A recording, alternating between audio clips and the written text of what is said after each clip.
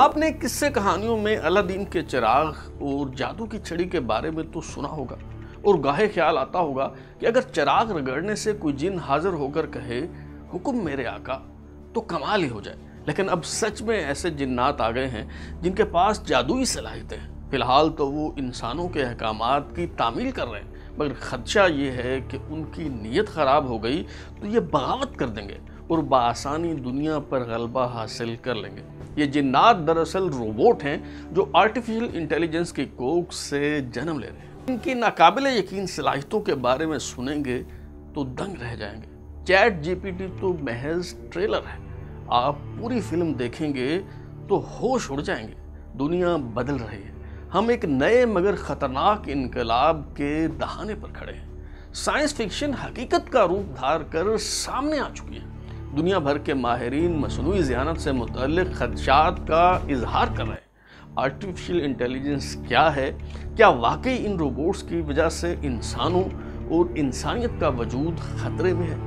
तराजू की mystery series में आज हम यही पुरस्कार मुहम्मा हल करने की कोशिश करेंगे। इस सिलसिले की पहली किस्त के साथ मैं हूँ बिलाल गोरी और आप देख रहे हैं तराजू। Bill Gates. He's got a new blog post out and he is outlining some of the biggest concerns he has now about how AI can change our lives. This has been a week where concerns over the rapidly expanding use of artificial intelligence. Jeff Hinton is one of the pioneers in artificial intelligence and his work has helped shape the field as we know it today. The risk of superintelligent AI taking over control from people.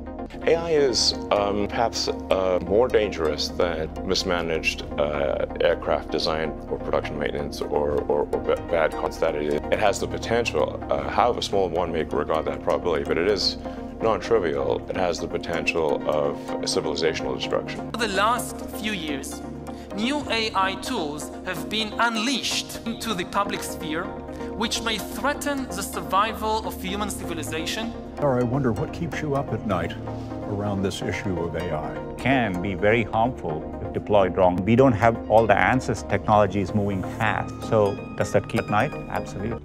बिलमूम मुसलमानों को कदामत पसंद कहा जाता है जो हालत इनकार यानी स्टेट ऑफ डिनाइल में रहने के बायस साइंस और टेक्नोलॉजी की तरक्की का हिस्सा बनने के बजाय हर नई ईजाद को छुटलाते रहे और ये महज दशनाम नहीं, वाकई इस तरह का रद्द अमल सामने आता रहा है। मिसाल के तौर पर प्रिंटिंग प्रेस ईजाद हुआ तो उसे हराम करार दे दिया गया। लाउड स्पीकर रेलगाड़ी समेत हर किस्म के आलात की मुखालफत की गई। मगर इस बार आर्टिफिशियल इंटेलिजेंस पर तनकीद किसी गैर तरक्की याफ्ता मुल्क के कदामत पसंद लोग नहीं कर रहे, बल्कि इल्म तहकीक की दुनिया से ताल्लुक़ रखने वाले माहरीन इस हवाले से अपने खदशात का इजहार कर रहे हैं और कह रहे हैं कि इस इनकलाब का रास्ता रोको, वरना न समझोगे तो मिट जाओगे।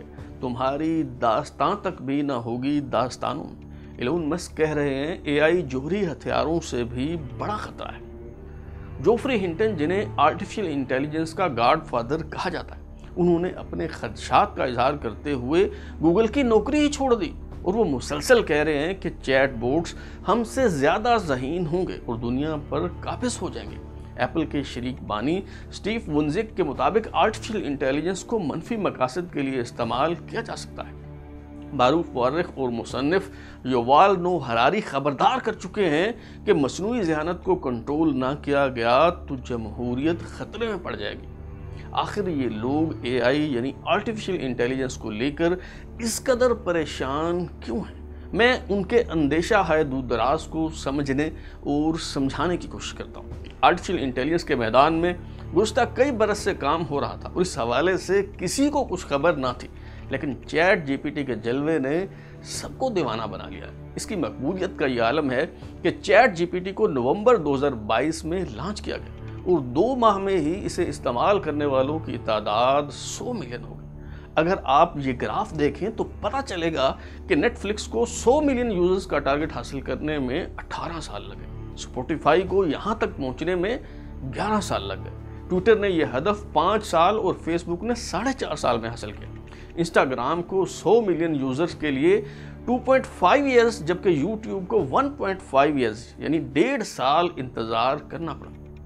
टिकटॉक ने नौ माह में ये संग मील हासिल किया, लेकिन चैट जीपीटी ने सिर्फ़ दो माह में ये कामयाबी हासिल कर ली। सवाल यह है कि चैट जीपीटी का जादू क्यों सर चढ़ कर बोल रहा है? आप इसे यूज़ करेंगे तो खुद ही जान जाएँगे। इसका इस्तेमाल बिल्कुल मुफ़्त है। कोई भी शख्स अमरीकी कंपनी ओपन एआई की वेबसाइट पर अपना अकाउंट बनाने के बाद इससे बातचीत कर सकता है। जब आप इससे बात करना शुरू करते हैं तो हैरान रह जाते हैं। क्योंकि आपके हर सवाल का तसली बख्श जवाब दिया जाता है। यूँ लगता है जैसे आप एक ऐसे काबिल तरीन साहिब मुताल शख्स से बात कर रहे हैं, जिसके पास हर सवाल का जवाब है, जो हर मौजू और हर शुबा है ज़िंदगी से मुतल नाकबिल यकीन मालूम रखता है। मसलन आप उसे कहें तो गालिब की ज़मीन में हु बहू उसी के अंदाज में कोई गज़ल लिख कर दे दे। आप उससे पूछें कि वाक़ करबला में हक के साथ कौन खड़ा था तो वो आपको ये भी बता सकता है। सरा की शायरी के बारे में कहें तो वो तख्लीक कर देगा।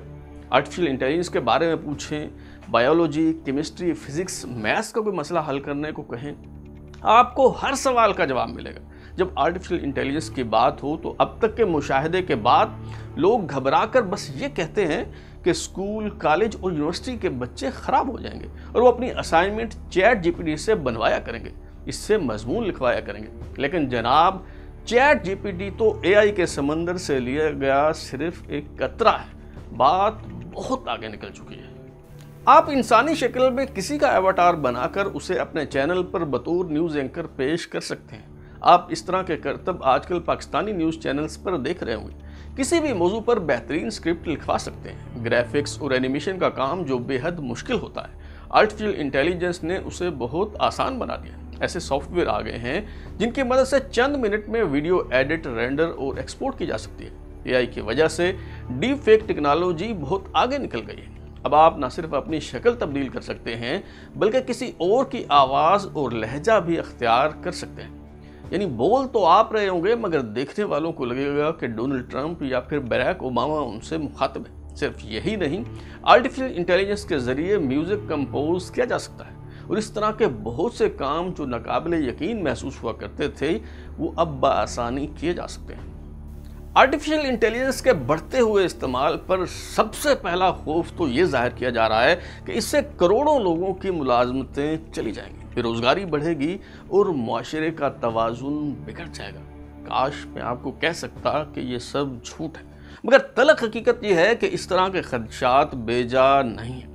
जब प्रिंटिंग प्रेस आया कंप्यूटर पर कंपोजिंग और डिज़ाइनिंग होने लगी तो किताबत करने वाले खुश नवीसों की ज़रूरत नहीं रही। मोबाइल फ़ोन आने के बाद लैंडलाइन टेलीफोन नज़र नहीं आते। ख़त पहुँचाने के लिए डाक के निज़ाम की अहमियत अब पहले जैसी नहीं रही। इलेक्ट्रॉनिक मीडिया की आमद पर प्रिंट मीडिया सुकड़ गया और फिर डिजिटल मीडिया की धमाकादार एंट्री हुई तो मेन स्ट्रीम मीडिया की अहमियत कम हो गई। जब भी कोई नया इनकलाब आता है तो ज़माने के अंदाज़ो अतवार बदल जाते बिलमूम हर इनकलाब के बाद मजदूर के औकात और हालात तलख तर होते चले जाते हैं, क्योंकि मशीनों की आमद से लेबर की ज़रूरत बतदरीज कम होती चली जाती है। मगर आर्टिफिशियल इंटेलिजेंस वो वाद इनकलाब है, जो माशरे के दानश्वरों और तख्लीकी काम करने वालों को सबसे पहले बेरोज़गार करेगा। गाना लिखना, उसकी धुन बनाना सुरीली आवाज़ में गाना, किसी अखबार में कॉलम लिखना, किसी टीवी चैनल पर हालात का तजिया करना, आप समझते हैं कि ये काम इंसानों के सिवा कोई नहीं कर सकता तो इस मुकालते से निकल आए। क्योंकि आर्टिफिशियल इंटेलिजेंस ये सब काम इंसानों से बेहतर अंदाज में कर सकती है। कंप्यूटर के शोबा में कोडिंग बहुत महारत का काम समझा जाता है, लेकिन एआई टूल्स की मदद से बासानी कोडिंग की जा सकती है। कानून साजी के लिए किसी बिल का मसवदा तैयार करना है सियासी पार्टी के लिए कोई मंशूर बनाना है? तशहरी मुहिम यानी एडवर्टीजिंग कंपेन लॉन्च करनी है। एआई ये सब काम कर सकती है मालूम और ख़बरें दे सकती है, लेकिन घबराइए मत। मुलाजमतें तो जाएँगी, मगर इसके साथ नए मौाक़े भी पैदा हों। मिसाल के तौर पर कंप्यूटर आने के बाद जहाँ कई लोग महारत ना रखने की वजह से नौकरियों से हाथ धो बैठे, वहाँ कंप्यूटर का इल्म रखने वालों के लिए रोज़गार के दरवाजे खुल गए। अगर लैंडलाइन टेलीफोन का इस्तेमाल कम होने से कुछ लोगों का रोज़गार मुतासर हुआ तो मोबाइल फ़ोन आ जाने से रोज़गार के बेपना नए मौाक़े पैदा हुए। वर्ल्ड इकोनॉमिक फोरम की रिपोर्ट के मुताबिक आर्टिफिशियल इंटेलिजेंस की वजह से आइंदा पाँच साल के दौरान पचासी मिलियन लोग बेरोज़गार होंगे। तो रोबोट आ जाने से आर्टिफिशियल इंटेलिजेंस की वजह से सतानवे मिलियन मुलाजमतों के नए मौाक़े भी पैदा होंगे। नई मुलाजमतें उन लोगों के हिस्से में आएँगी जो नई टेक्नोलॉजी यानी एआई को इस्तेमाल करना जानते हो, जो आर्टिफिशियल इंटेलिजेंस की अहमियत को नज़रअंदाज कर देंगे, वो आउटडेटेड हो जाएँगे। आर्टिफिशियल इंटेलिजेंस की वजह से महज लोगों की मुलाजमतें और कंपनियों का मुस्तकबिल ही खतरे में नहीं है, बल्कि सब कुछ दाव पर लग चुका है। इंसानी तहजीब मिट जाने का अंदेशा है। जमहूरियत खतरे में है। पार्लिमानी निज़ाम इसकी जद में आ चुका है। और अब इसकी मदद से किसी भी मुल्क में इंतबी अमल पर असरअंदाज होकर उसे अदम इसकाम से दो चार किया जा सकता है। फेक न्यूज़ तो तलबीस इतलात के निज़ाम का महज एक हथियार है, वरना आर्टिफिशियल इंटेलिजेंस टूल्स की मदद से पूरे सिस्टम को यरगमाल बनाया जा सकता है। पहले हम इंसानी तहजीब व तमदन की बात करते हैं। जबान किसी भी इंसानी माशरे का ऑपरेटिंग सिस्टम होता है। खा वो टेक्स्ट की शक्ल में हो ऑडियो और वीडियो फॉर्मेट में हो, तस्वीरी शक्ल में हो या फिर म्यूज़िक के रूप में। मिसाल के तौर पर करेंसी नोट को अगर इंसानों ने लेन देन के लिए महसूस ना किया होता तो इन कागज़ के टुकड़ों की कतन कोई अहमियत ना होती। इसी तरह आजकल इलेक्ट्रॉनिक ट्रांजैक्शन का दौर है। हमारे मोबाइल फ़ोन टैबलेट या कंप्यूटर सिस्टम में बताया जाता है कि आपके अकाउंट में कितनी रकम है। आप किसी को यह रकम ऑनलाइन ट्रांसफ़र कर देते हैं। हालाँकि ये सब महज आदाद शुमार है। अगर इनका कोई मतलब ना हो तो फिर सब बेकार है। ज़रा तस्वुर कीजिए, अगर इजहार के इन सब ज़राए पर आर्टिफिशियल इंटेलिजेंस की अजारादारी होगी तो दुनिया का मंजरनामा क्या होगा? आर्टिफिशियल इंटेलिजेंस जब जबान पर असरअंदाज होने या इसे मैनिपुलेट करने की सलाहियत रखती होगी तो एक नया वर्ल्ड आर्डर तश्कील पाएगा। ज़माने में पनपने के अंदाजो अतवार बदल जाएँगे। आर्टिफिशियल इंटेलिजेंस का एक और खौफनाक पहलू सियासी प्रापेगंडे और इंतबी अमल पर असरअंदाज होने के लिए इसका इस्तेमाल है। अगर आपको 2016 में सामने आने वाला कैम्ब्रिज एनालिटिका स्कैंडल याद हो तो इस बात को समझने में आसानी होगी। फेसबुक आर्टिफिशियल इंटेलिजेंस के ज़रिए अपने सार्फिन की पसंद नापसंद और हर किस्म की सरगर्मियों पर नज़र रखता है। इतना तो आप जानते होंगे। ये निगरानी इस कदर मौसर और मुनज़म है कि अगर आप जूतों के बारे में बात कर रहे हो या एक आध बार शू लिखकर कुछ ढूँढने की कोशिश करें तो आपकी प्रोफ़ाइल पर जूतों के इश्तहार की भरमार हो जाएगी। फेसबुक इंतजामिया ने कैम्ब्रिज एनालिटिका नामी एक डाटा कंपनी को अपने 87 मिलियन सार्फिन के डाटा तक रसाई दी। ये कंपनी जिसने बादजा कंसल्टिंग फर्म के तौर पर डोनाल्ड ट्रंप की इंतबी मुहिम चलाई। उसने मशीन लर्निंग के ज़रिए फेसबुक सार्फिन का डाटा इस्तेमाल करते हुए उन्हें मुख्तलिफ़ हिस्सों में तकसीम किया और फिर माइक्रो मैनेजमेंट और माइक्रो टारगेटिंग के ज़रिए उन तक अपना पैगाम पहुँचाया। मिसाल के तौर पर जो सफ़ेद फार्म मकामी अमरीकी बाहर से आकर आबाद होने वालों से मुतल तहफ़ात का शिकार थे। उन्हें डोनाल्ड ट्रंप की इंतबी मुहिम के दौरान इस तरह के इश्तहार दिखाए गए कि ट्रंप को वोट ना दिया तो ये मुल्क तुम्हारा नहीं रहेगा। यूँ माइक्रो टारगेटिंग के ज़रिए इंतबी अमल को मैनिपुलेट करके डोनाल्ड ट्रंप सदर बन गए। बरतानिया में यूरोपीय यूनियन से अलहदगी के हवाले से रेफरेंडम हुआ तो उसमें भी यही तरीका वारदात इस्तेमाल किया गया।